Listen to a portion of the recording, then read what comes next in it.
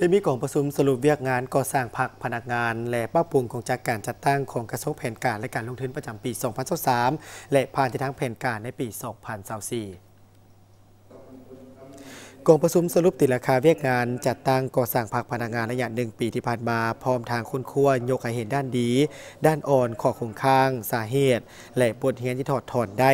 ในพร้อมการปรึกษาหารือแลกเปลี่ยนคำพิดคำเห็นเกี่ยวกับทิศทางหน้าเวียก ในการก่อสร้างพักพนักงาน และเวียกงานป้าปุงกงจากการจัดตั้ง ที่สู่สนปฏิบัติในปี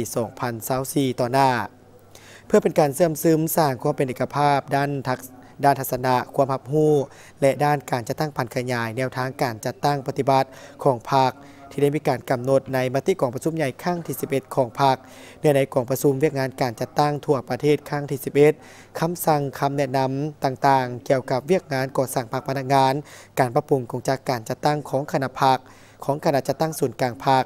การจัดตั้งผันขยายในในกล่องประชุมสรุปเวียกงานก่อสร้างภาคพนักงาน และการปรับปรุงของจากการจัดตั้งประจำปี 2023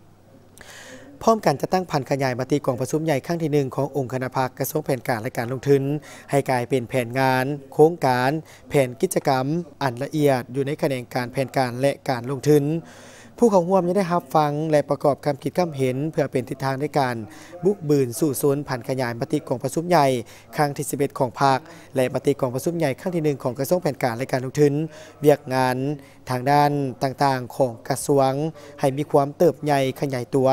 ตามที่ได้มีการกำหนดไว้ด้านแบบแผนวิธีการนำพา และวิธีการเฮ็ดเวียกของภาคคณะน้ำแต่ละขั้นตอนมีการสู่โซนจะตั้งผันขยายเหตุให้เวียกงานดังกล่าวนั้นบรรลุผลสำเร็จ